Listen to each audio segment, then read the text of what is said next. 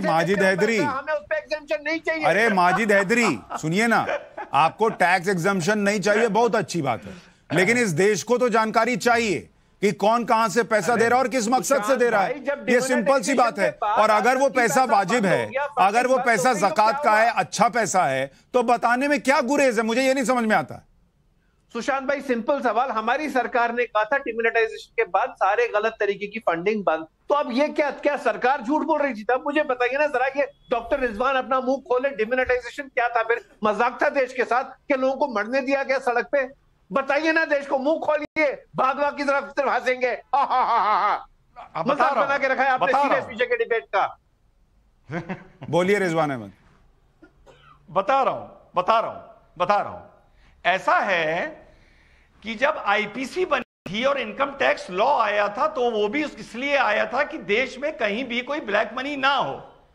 Law आने का मतलब यह नहीं होता कि वो समस्या का पूरा समाधान हो जाएगा। वो इसी तरीके से है माजिद हैदरी।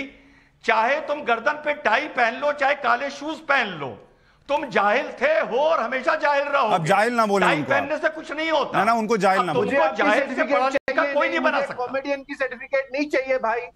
नहीं नहीं जाहिल वाहिल ना बोले। कॉमेडियन है ना जाहिल ना बोले। ठीक है, मैंने बोल दिया भाई, जाहिल नहीं बोल रहे। अरे कैसी बात कर रहे हैं सुशांत आप? नहीं, नहीं, आप ना बोल हैं? नहीं, नहीं, भाई नहीं बोल बोले। नहीं नहीं कैसी बात कर रहे हैं आप? क्या? नहीं नहीं आप गलत बात कर रहे हैं। एक आदमी नेशनल टीवी पर बैठ के ये बोल रहा है कि मैं ब्लैक मनी मस्जिद में दे सकता हूँ।